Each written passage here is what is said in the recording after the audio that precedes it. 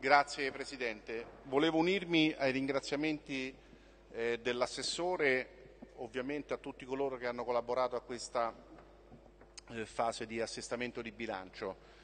E una menzione particolare sicuramente eh, al dottor Cervi e al dottor Tranfaglia che eh, nella fase di monitoraggio che abbiamo condotto con la Commissione hanno supportato direi in modo esemplare i lavori della Commissione. Un ringraziamento anche ai colleghi presidenti che hanno eh, programmato eh, puntualmente i lavori delle commissioni congiunte e che hanno quindi permesso insieme poi ai dipartimenti e ai municipi di svolgere un'attività di eh, studio e analisi preventiva che è stata utile per arrivare a un, eh, a un assestamento che direi eh, assolutamente da encomiare per eh, la lungimiranza e credo che le parole illuminate dell'assessore nel suo ultimo intervento ne, ne siano eh, testimonianza. Una, lungi, una, lungimiranza basata sulla prudenza, sulla volontà di risanamento e sul eh, desiderio di rimettere a posto le cose.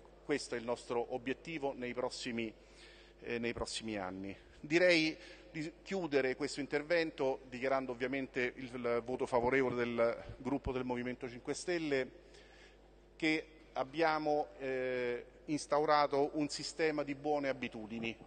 Le buone abitudini legate all'approvazione dei bilanci nelle varie declinazioni, preventivo, eh, eh, rendiconto annuale, eh, assestamento e presto eh, anche il bilancio consolidato da, que da quest'anno.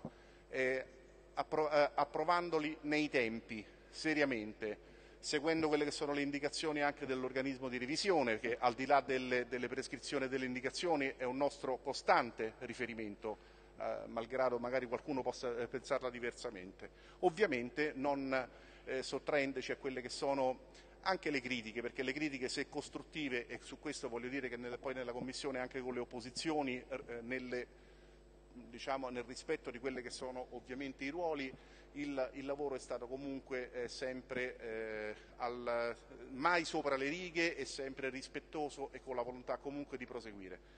Questo è secondo me quello che dovrà caratterizzare il nostro lavoro eh, da oggi nei prossimi, nei prossimi, anni e io credo che su questo troveremo anche ampia convergenza con chi vorrà fare di Roma una città vivibile e con dei servizi degni di una capitale eh, della capitale d'Italia e di una grande capitale europea. Grazie.